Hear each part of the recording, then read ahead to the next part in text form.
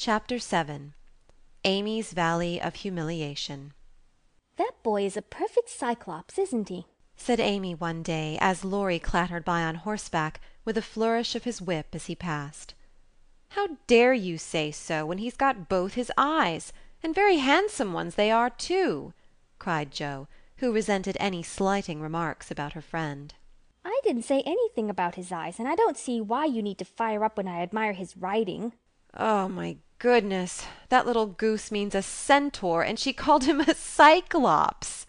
exclaimed Jo, with a burst of laughter. "You needn't be so rude. It's only a lapsus linguae, as Mr. Davis says," retorted Amy, finishing Jo with her Latin. "I just wish I had a little of the money Laurie spends on that horse," she added, as if to herself, yet hoping her sisters would hear. "Why?" asked Meg kindly, for Jo had gone off in another laugh at Amy's second blunder. "I need it so much. I'm dreadfully in debt, and it won't be my turn to have the rag money for a month." "In debt, Amy? What do you mean?" And Meg looked sober. "Why, I owe at least a dozen pickled limes, and I can't pay them, you know, till I have money, for Marmee forbade me having anything charged at the shop." "Tell me all about it. Are limes the fashion now? It used to be pricking bits of rubber to make balls." And Meg tried to keep her countenance, Amy looked so grave and important. "Why, you see, the girls are always buying them, and unless you want to be thought mean, you must do it too. It's nothing but limes now, for every one is sucking them in their desks in school time, and trading them off for pencils, bead rings, paper dolls, or something else at recess. If one girl likes another she gives her a lime. If she's mad with her she eats one before her face, and doesn't offer even a suck. They treat by turns, and I've had ever so many, but haven't returned them, and I ought, for they are debts of honor, you know." "How much will pay them off and restore your credit?" asked Meg, taking out her purse. A quarter would more than do it, and leave a few cents over for a treat for you. Don't you like limes?" "Not much. You may have my share. Here's the money. Make it last as long as you can, for it isn't very plenty, you know." "Oh, thank you. It must be so nice to have pocket money. I'll have a grand feast, for I haven't tasted a lime this week. I felt delicate about taking any, as I couldn't return them, and I'm actually suffering for one." Next day Amy was rather late at school, but could not resist the temptation of displaying, with pardonable pride, a moist brown paper parcel before she consigned it to the inmost recesses of her desk. During the next few minutes the rumour that Amy March had got twenty-four delicious limes she ate one on the way and was going to treat circulated through her set, and the attentions of her friends became quite overwhelming.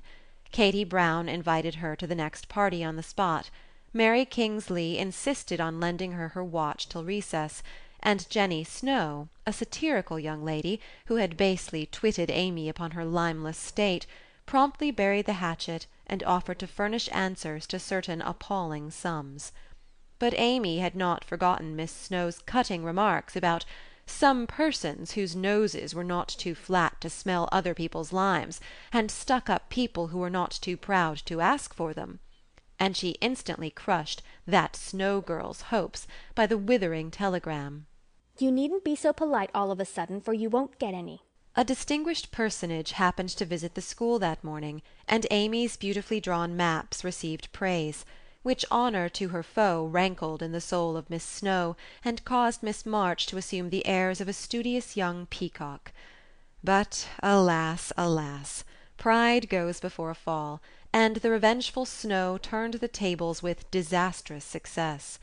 No sooner had the guest paid the usual stale compliments and bowed himself out, than Jenny, under pretence of asking an important question, informed Mr Davis, the teacher, that Amy March had pickled limes in her desk.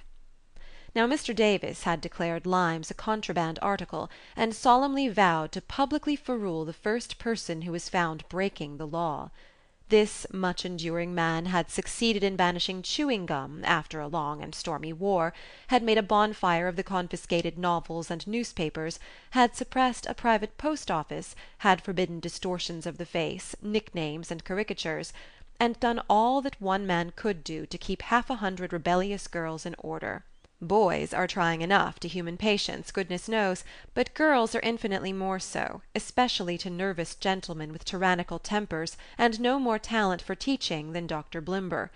Mr. Davis knew any quantity of Greek, Latin, algebra, and ologies of all sorts, so he was called a fine teacher, and manners, morals, feelings, and examples were not considered of any particular importance. It was a most unfortunate moment for denouncing Amy, and Jenny knew it. Mr. Davis had evidently taken his coffee too strong that morning, there was an east wind, which always affected his neuralgia, and his pupils had not done him the credit which he felt he deserved. Therefore, to use the expressive if not elegant language of a schoolgirl, he was as nervous as a witch and as cross as a bear. The word limes was like a fire to powder, his yellow face flushed, and he rapped on his desk with an energy which made Jenny skip to her seat with unusual rapidity. Young ladies, attention, if you please. At the stern order the buzz ceased, and fifty pairs of blue, black, grey, and brown eyes were obediently fixed upon his awful countenance. Miss March, come to the desk. Amy rose to comply with outward composure, but a secret fear oppressed her, for the limes weighed upon her conscience. Bring with you the limes you have in your desk, was the unexpected command which arrested her before she got out of her seat. Don't take all, whispered her neighbour, a young lady of great presence of mind. Amy hastily shook out half a dozen and laid the rest down before Mr. Davis feeling that any man possessing a human heart would relent when that delicious perfume met his nose. Unfortunately, Mr. Davis particularly detested the odour of the fashionable pickle, and disgust added to his wrath. Is that all? Not quite, stammered Amy. Bring the rest immediately. With a despairing glance at her set, she obeyed. You are sure there are no more? I never lie, sir. So I see. Now take these disgusting things two by two and throw them out of the window." There was a simultaneous sigh which created quite a little gust, as the last hope fled, and the treat was ravished from their longing lips. Scarlet with shame and anger, Amy went to and fro six dreadful times, and as each doomed couple, looking oh so plump and juicy, fell from her reluctant hands, a shout from the street completed the anguish of the girls for told them that their feast was being exulted over by the little Irish children who were their sworn foes. This, this was too much. All flashed indignant or appealing glances at the inexorable Davis, and one passionate lime lover burst into tears. As Amy returned from her last trip, Mr. Davis gave a portentous and said in his most impressive manner, Young ladies, you remember what I said to you a week ago. I am sorry this has happened, but I never allow my rules to be infringed, and I never break my word. Miss March, hold out your hand." Amy started, and put both hands behind her, turning on him an imploring look which pleaded for her better than the words she could not utter. She was rather a favourite with "old Davis," as of course he was called and it's my private belief that he would have broken his word if the indignation of one irrepressible young lady had not found vent in a hiss. That hiss, faint as it was, irritated the irascible gentleman, and sealed the culprit's fate. "Your hand, Miss March," was the only answer her mute appeal received, and too proud to cry or beseech, Amy set her teeth, threw back her head defiantly and bore without flinching several tingling blows on her little palm. They were neither many nor heavy, but that made no difference to her. For the first time in her life she had been struck, and the disgrace, in her eyes, was as deep as if he had knocked her down. "You will now stand on the platform till recess," said Mr. Davis, resolved to do the thing thoroughly since he had begun. That was dreadful. It would have been bad enough to go to her seat and see the pitying faces of her friends or the satisfied ones of her few enemies, but to face the whole school, with that shame fresh upon her, seemed impossible, and for a second she felt as if she could only drop down where she stood and break her heart with crying.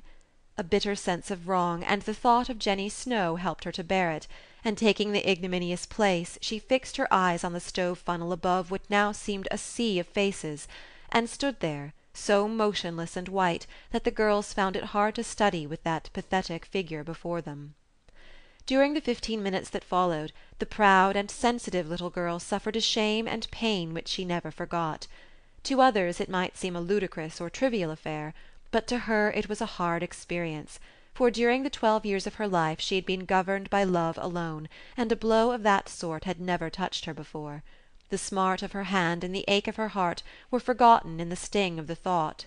I shall have to tell at home, and they will be so disappointed in me. The fifteen minutes seemed an hour, but they came to an end at last, and the word "recess" had never seemed so welcome to her before. You can go, Miss March, said Mr. Davis, looking, as he felt, uncomfortable. He did not soon forget the reproachful glance Amy gave him as she went, without a word to any one, straight into the anteroom, snatched her things, and left the place "forever," as she passionately declared to herself. She was in a sad state when she got home, and when the older girls arrived, some time later, an indignation meeting was held at once. Mrs. March did not say much, but looked disturbed, and comforted her afflicted little daughter in her tenderest manner. Meg bathed the insulted hand with glycerine and tears. Beth felt that even her beloved kittens would fail as a balm for griefs like this. Jo wrathfully proposed that Mr. Davis be arrested without delay and Hannah shook her fist at the villain and pounded potatoes for dinner as if she had him under her pestle. No notice was taken of Amy's flight except by her mates, but the sharp-eyed demoiselle discovered that Mr. Davis was quite benignant in the afternoon, also unusually nervous. Just before school closed, Jo appeared, wearing a grim expression as she stalked up to the desk and delivered a letter from her mother, then collected Amy's property and departed, carefully scraping the mud from her boots on the door-mat, as if she shook the dust of the place off her feet. "Yes, you can have a vacation from school, but I want you to study a little every day with Beth," said Mrs. March that evening. "I don't approve of corporal punishment, especially for girls.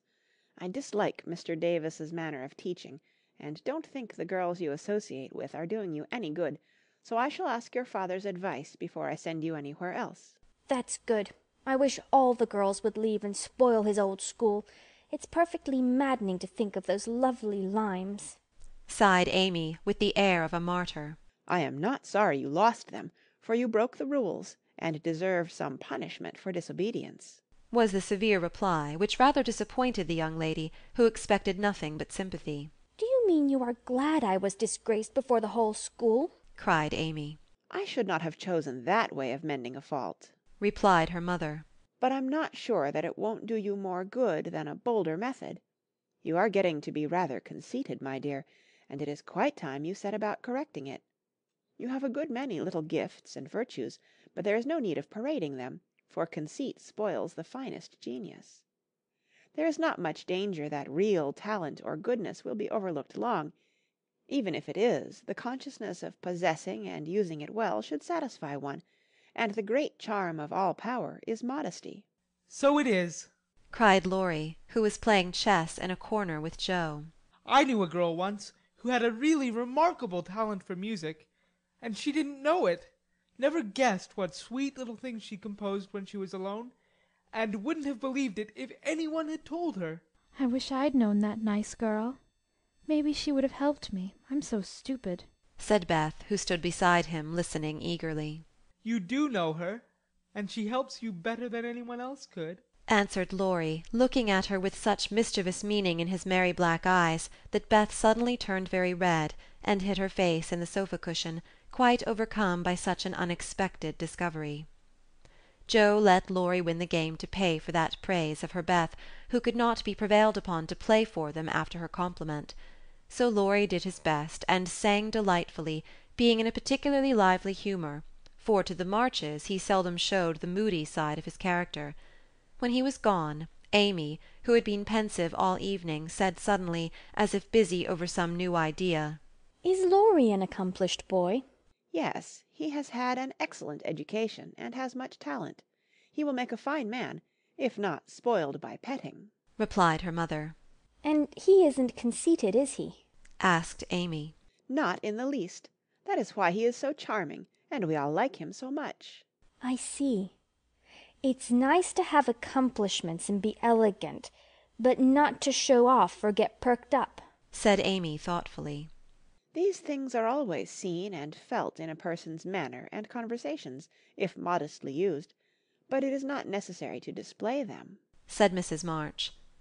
"Any more than it's proper to wear all your bonnets and gowns and ribbons at once, that folks may know you've got them," added Jo; and the lecture ended in a laugh.